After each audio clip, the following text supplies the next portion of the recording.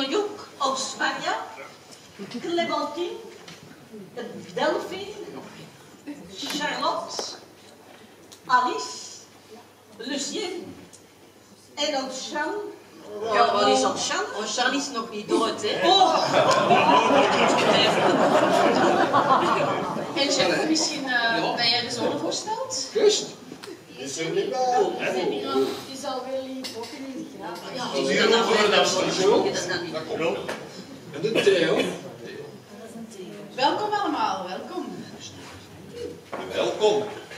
En zo zijn wij aan de Roaring Twenties gekomen. Ja, het gaat hier bijzonder snel. Eh, Vijf minuten geleden zaten we nog in 1908. Nu zitten we al in eh, 1920. Dus over tien minuten is die show hier gedaan. Dat is niet waar, dat is niet waar, dat is niet waar. Oké. De Roaring Twenties, de oorlog, dat was nog maar een verre herinnering.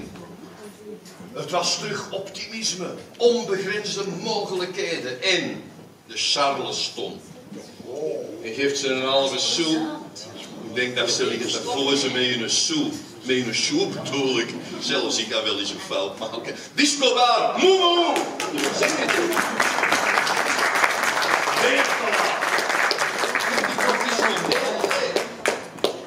En we draaien hè, een Charleston. Bezweert, waar is nu op balkon? Op pas op voor uw plastron, hè? Niet al dat draaien op uw gazon. This dance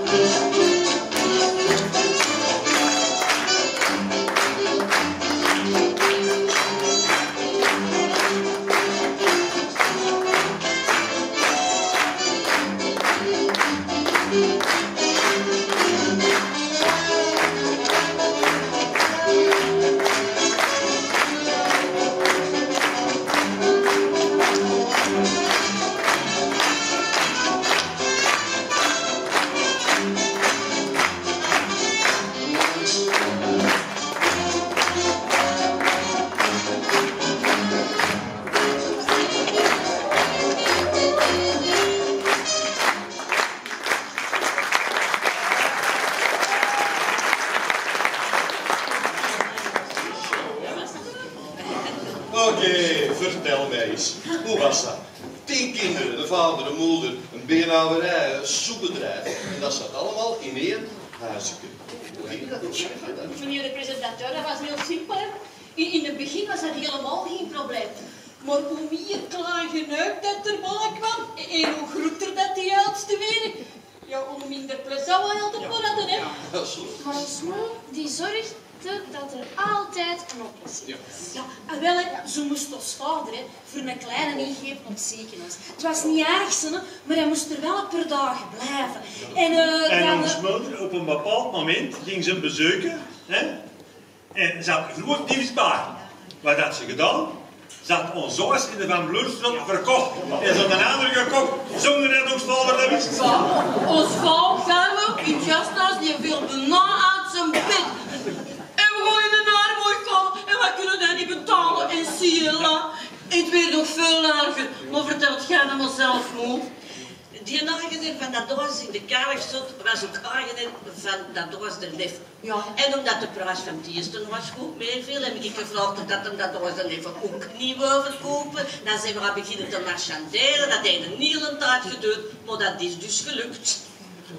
Dat moet toch iets moeten gedaan, We hadden moeten overleggen erover, hè. Mieke? Hé, ga je op schat. Kan ook maar één beslissing die ik ooit heb genomen. Stop dat met zagen, zeker als het al zoveel jaren dood zijn. Voilà, dat, dat- dat was toch een goede slag. En beenhouwerij. En ik heb hier plots om een soep te maken en te verkopen. Stop voor in welke komt hier. Een mooi moment, dames en heren. Ja, volgens mij had ze er nog wel alle vijf op een rij. Hè. Die, die had altijd een briljant idee. Die dacht, Beerhagen, en wel, en ik daar zo bekeken zeg, die eh, zijn heel wat vinten die daar buiten de stad wonen, maar die in Antwerpen komen om te treffen. Dus Er waren bijvoorbeeld mannen die voor skatrechten of voor de belastingen of die nog andere jobs hadden. Dat was soms heel moeilijk voor die gasten om over een veertig gaan naar huis. En die bleef dus liever in de stad slapen tijdens de Zo werk. dezelfde, hè. En ons moe, die had een neus verkondigd. Op een nikke negatie, dat dan zonder verdeeld in ik weet niet veel kamers met een nachtkastje en een bed en zo van die dingen. En ja, die mannen die konden er dan tegen een schappelijk prijsje overnachten. En dan was een min bedrag niet voor je zin. Zeg maar zeker. Maar, eh, maar, ga je al vertrekken? Dat is toch wel eens leuk gezegd. er, waren, er waren momenten bij dat ons maas 40 gasten in die twee huisjes liet slapen. En dan moesten wij, ik en Janneke, ons bed afstaan en dan moesten wij in bed gaan slapen. Wat te maken is dat? Ja, en, aan de chance, daar gaat zo'n autokrant die, die kraan draaien. En dan zat ik gaat in een kop gestoten. Zo'n beetje dan?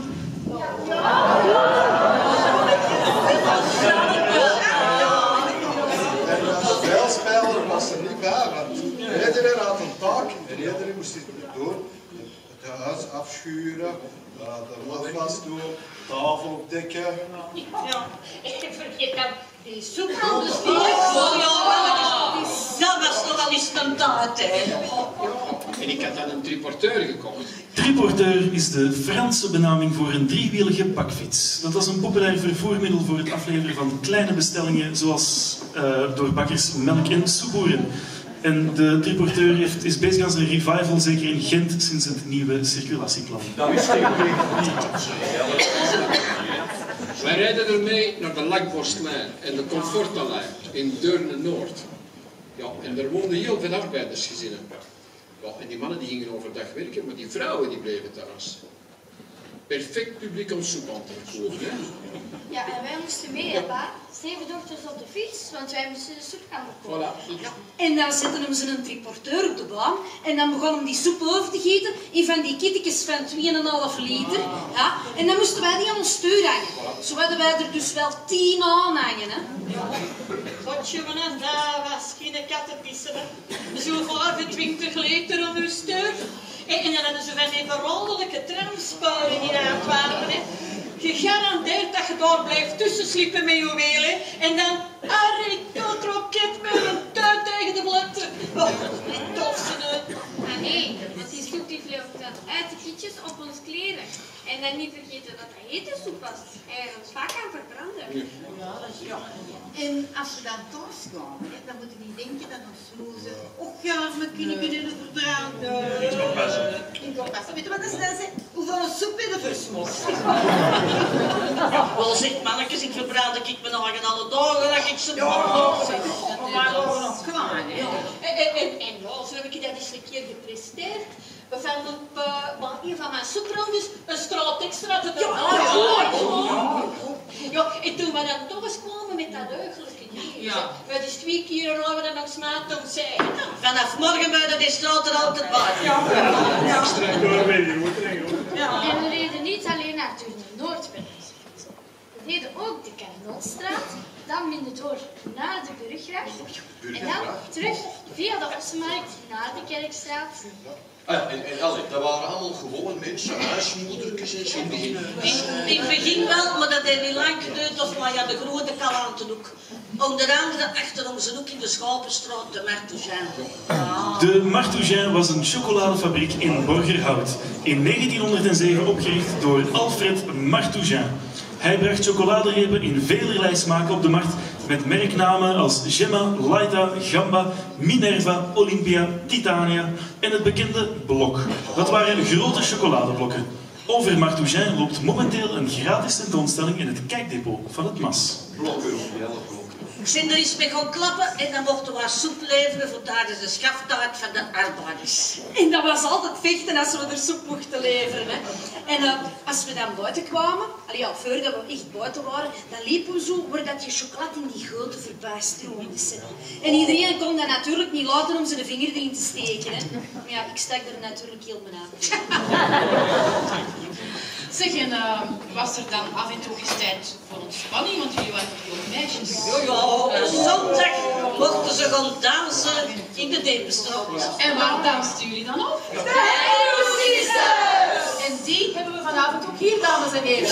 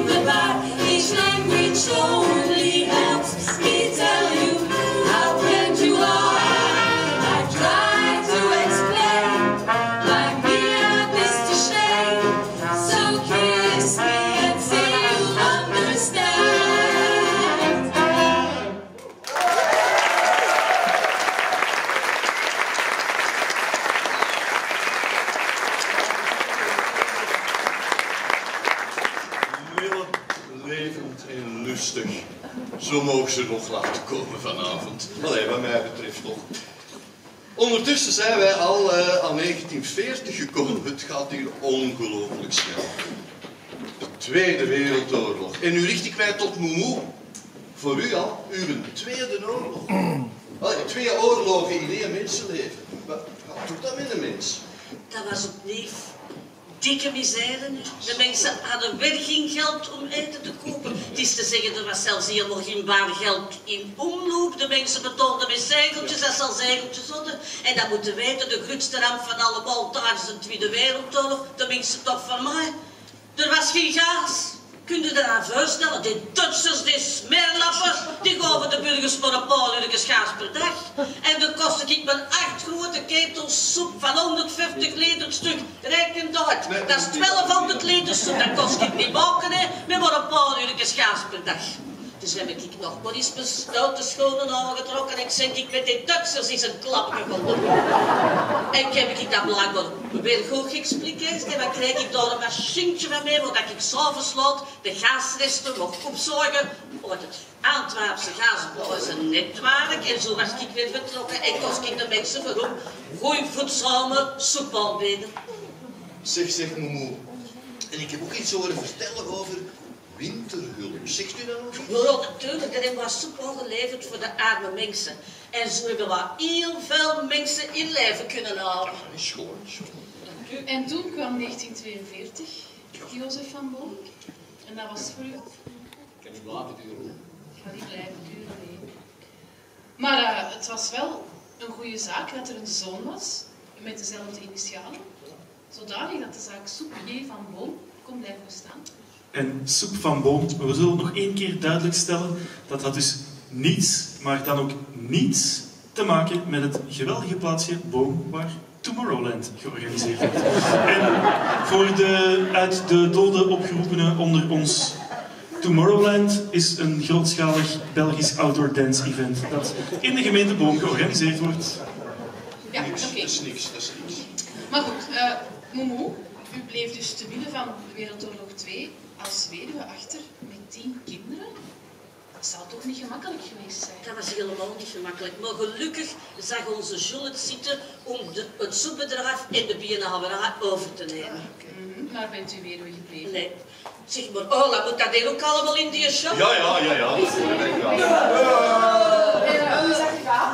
Ah, wel hè, zo kwam ze op een dag naar huis en ze zei... Zeg mannetjes, ik ben getrouwd en dat is hier mijn man. Zeg ik al het akkoord? Ja, wat konden wij nou anders zeggen, hè, maar? Ja, zeg, ik wou ik daar niet te veel tamtam rondmaken, hè, zeg. Goed, dan eh, zullen wij nu de volgende oplopen, hè? De volgende. Ah ja, Nee, dat zijn jullie klaar? Kom!